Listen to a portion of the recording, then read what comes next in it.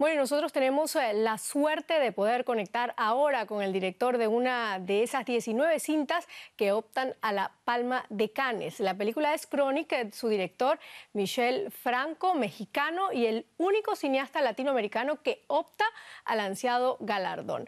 Buenas noches, eh, Michel, bienvenido a nuestro jornal. Bueno, Cannes eh, no le es del todo ajeno. En el 2012 ya ganaste el premio de la sección Una cierta mirada con tu película después de Lucía, que fue la revelación para muchos. Entre ellos, el entonces director Tim Roth, que ahora es parte importantísima de Chronic. Cuéntanos cómo ha influido tu, primer paso, perdón, por Cannes en el desarrollo de tu carrera en estos tres años.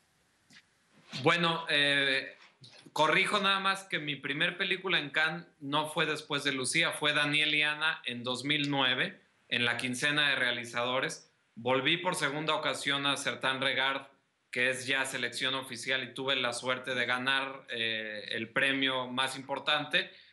Tim Roth, como bien mencionas, era cabeza del jurado y me entregó el premio y echándonos unos whiskies después de la ceremonia, pues nos empezamos a volver amigos y, me manifestó su interés en trabajar juntos. Para mí fue muy halagador y él, además de ser un gran eh, actor, dirigió una película, La Zona de Guerra, excelente entonces, pues coincidimos en sensibilidad y en muchas cosas y por eso fue que me aventuré a adaptar la película que iba a ser en México con una protagonista femenina.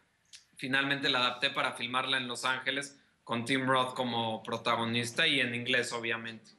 Bueno, no era tu primera película, pero con ella ganaste en el 2012 la sección Una cierta mirada. En el 2012 también cautivaste, como tú acabas de decir, a Tim Roth.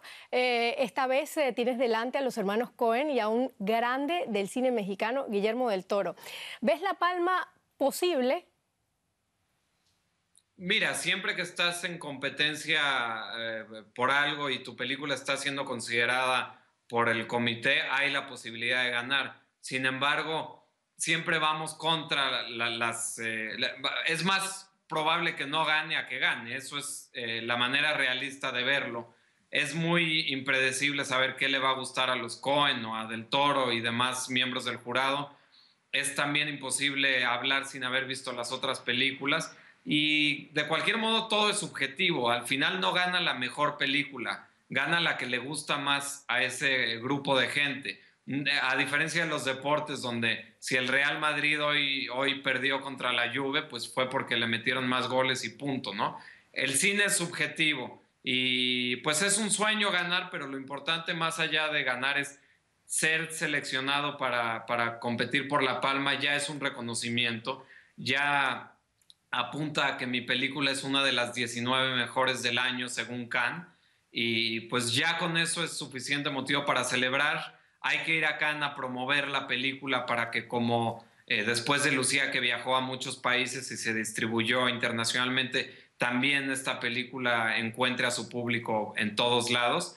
Y bueno, el, premio ya sería algo adicional, sería ya fiesta. Claro. pero yo sé que tú lo vas a conseguir y nosotros desde aquí estamos cruzando los dedos. Eh, te deseamos muchísima suerte y estaremos muy pendientes. Qué linda, muchas gracias. Chao, hasta luego.